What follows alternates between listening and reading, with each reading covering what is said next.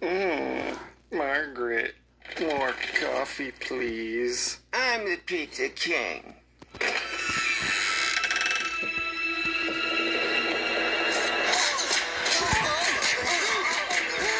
Muscle Man, dude! Muscle Man, quit it!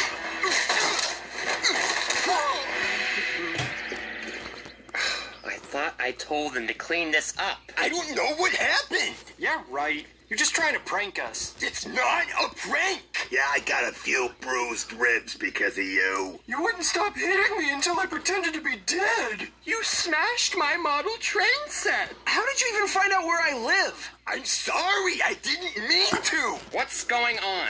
Muscle Man's beating people up in his sleep. I wouldn't do that. I hate senseless violence. I seriously can't remember fighting you guys. At this rate, he's gonna put us all in the hospital. Benson, we gotta do something. We? Yeah, this is a park problem. Everybody's got to be on board. This has nothing to do with me. Anything that happens in the park after hours is your own problem.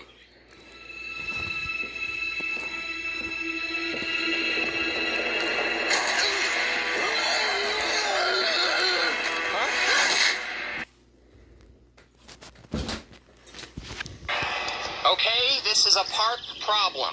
Yeah, it is. Thomas lost a tooth last night.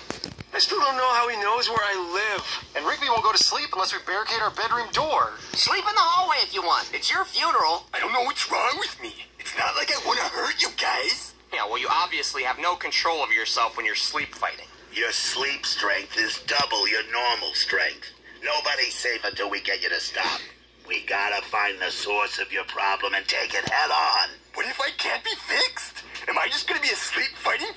for the rest of my life? Don't worry, Muscle Man. We won't give up until you're cured. Thanks, guys. You're the best.